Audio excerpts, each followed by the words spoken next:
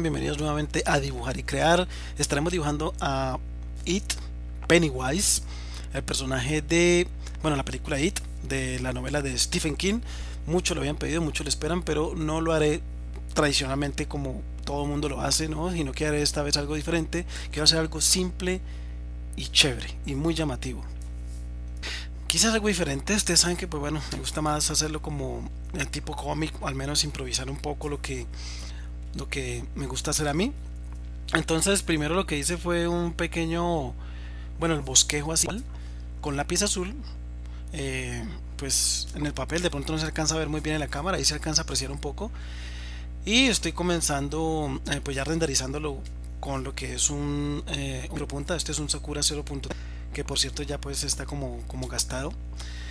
Eh, y y pues tenía ganas de hacer muchos, muchos detalles, entonces por eso no utilicé un 0.5, ya me gusta mucho más trabajar con el 0.3 y también tenía, quería experimentar un poco con el lápiz de color negro, Prismacolor Premier, nunca he hecho un dibujo ni he delineado un dibujo con el lápiz de color negro, pero quise, quise aplicar el lápiz de color negro, dar un poco de sombra con el color negro, como, como monocromático, mmm, como un solo tono, y bueno, eso fue lo que quise hacer ¿no? con, con Pennywise eh, Pennywise de Stephen King.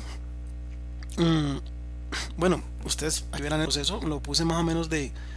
Este proceso dura unos 12 minutos. Eh, bueno, es, no es tan largo, tampoco tan corto. Se aprecia bien todo el proceso. Y comentarles que, bueno, acerca de la película. Sé que es una película que, wow, que todos se han visto porque eh, es un clásico, no es un verdadero clásico y es algo que cuando niños nos impactó muchísimo. Bueno, al menos a las personas que a, los adultos ya que recuerdan a, It y que fue una película fantástica. La, película original dura tres horas. O sea que esta película, me imagino que pues eh, podemos esperar a que salga la siguiente parte.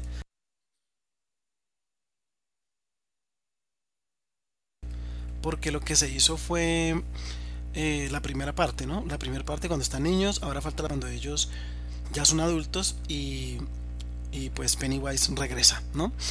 Eh, entonces, bueno, hicieron la película, pues la dividieron en dos partes. bueno, eh, a mí me gustó la película. Eh, mi opinión de la película es que mm, chévere, o sea, la película es de buen presupuesto, mm, los actores geniales, los niños, muy bien, todo muy bien hecho.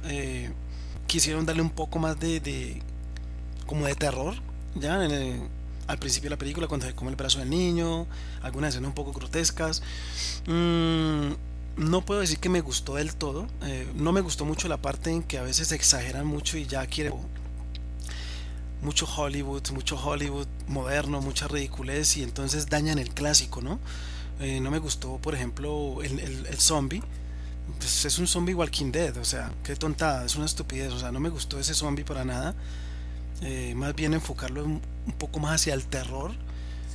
Entonces, mm, no me gusta. A veces cuando estos productores, verdad, verdad cogen un clásico y, y lo arruinan, ¿no? Cogen un clásico y, también pues muy, muy ingenioso y lo que hacen es dañar las películas, las sagas, ¿no? Pero bueno, de todos modos, eh, bueno, no se arruinó del todo, ¿no? La película es entretenida, es chévere, tiene muchas escenas chéveres, muy buenas, eh, efectos geniales, eh, hay cosas muy buenas y hay momentos, algunos momentos de, sí, un poco de misterio, de suspenso. Realmente la película no es que de miedo, a mí no me dio miedo en ningún momento.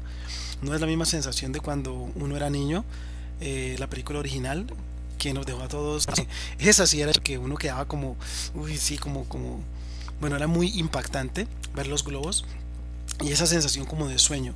Lamentablemente en esta película también se perdió eso, o sea, como vivir ese terror las apariciones de Pennywise, pero eh, algo terrorífico, pero al, mismo tiempo como, como no sabes si estás soñando, si estás viendo como una, viviendo como una ilusión, o sea, como, como ese momento de confusión, que a pesar de que la poca tecnología que pero sí más o menos da esa sensación.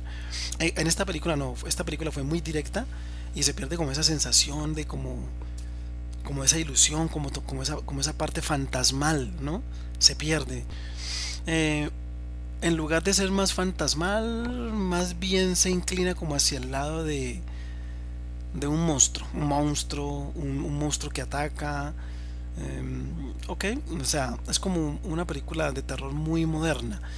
Entonces, mm, no es pues lo que esperaba realmente de, de It. Aunque tampoco esperaba mucho porque yo sé que pues hoy día es difícil que hagan una película buena. Hoy día solo dan basura y más basura. ok, entonces esta no fue tan mala del todo, pero estuvo bien. Sí, bueno, estuvo bien para lo que... O sea, yo me conformo, ¿por qué? Porque, porque sé que hoy día no pueden dar más. O sea, ya es difícil. Las mejores películas de suspenso que han salido en estos días, en estos tiempos, son las películas de Insidious, por ejemplo, muy buenas. Los productores de Insidious mm, han hecho un buen trabajo como preocupándose por volver a esa parte clásica de las películas de terror y en realidad son miedosas y, tienen elementos muy chéveres, sin exagerar. Entonces esas películas me parecen geniales.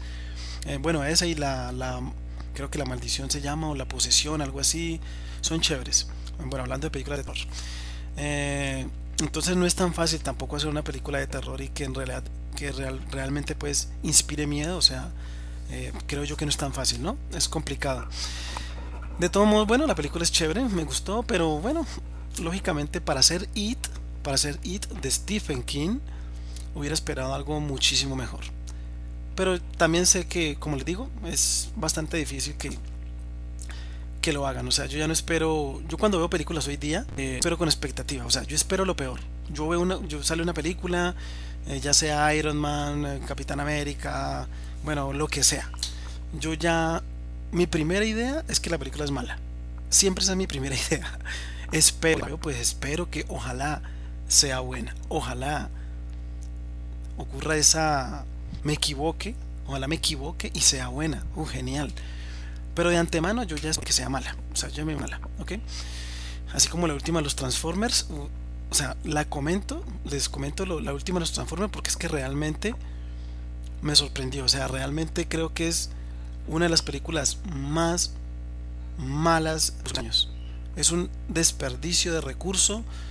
Es un desperdicio de talento humano. O sea, todos los artistas conceptuales y toda esa cuestión. Porque la película es sinceramente patética. La última película es patética, es la peor película que han sacado en todo el año y en todo el 2016 y en todo el 2017, yo no sé, es, es horrible. Es increíble que desperdicien el dinero en esas cosas tan, tan patéticas.